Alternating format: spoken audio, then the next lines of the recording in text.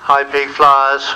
Are now, well, three of them are going Indian file over fence 14, and the was one catching up slightly behind, but three to count, remember, as they go to fence 14, or wrong 15, Dylan's Delight, and then the log, fence 16, which they turn into tightly and jump very neatly the three, these three going well as they make their way towards the water.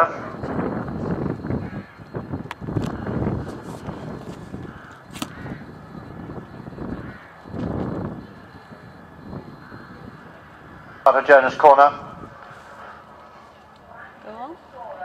First rider's coming to it now, both over. Now the third. So they're going well at the moment. That's Sue Tideswell, Kate Hemsworth, and Mark Cayley. Down the hill they go. This has been a good round towards quintessential quality fence. Uh, wrong, retraining of racehorses uh, for fun, fence 21.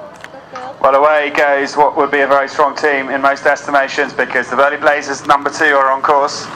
And Joss Hanbury and Scooby, Katie Barber, Zoe Gibson and Red, and Rupert Gibson and Alfie. Uh, I'm sure they're a very strong quartet, and they are away pretty quickly up towards fence number four now. The retraining of racehorses after retirement hurdle. But surprising, couple stop at that hedge, fact, the back three all stop. So, just uh, identify who has actually jumped it.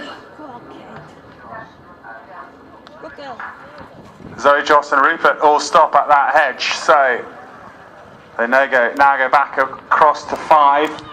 And just jumped it very awkward.